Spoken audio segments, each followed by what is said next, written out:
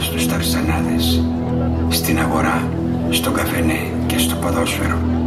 Είσαι η Πρέβεζα, τα Γιάννενα και το Κιλκής, το Μεσολόγγι, ο Πόντος και η Ερμούπολης.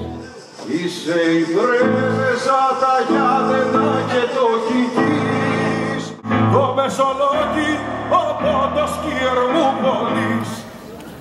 Γεννήθηκα Μάρτι του 38 σε ένα μεγάλο σπίτι διόροφο, νεοκλασικό μέσα στην Ερμούπολη της Ήρου. Δεν υπάρχει σήμερα. Αργότερα η μητέρα μου αγόρασε ένα νεοκλασικό με κήπο. Η μοίρα και ο καιρός το κανονίσει Παρασκευή το βράδυ του φωνιά Κι η νύχτα χίλια χρόνια να γυρίσει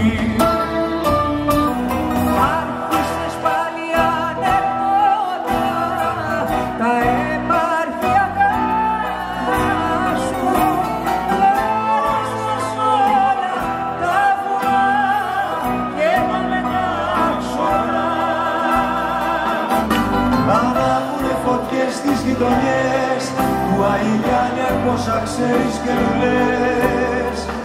Αχ πόσα παιδιά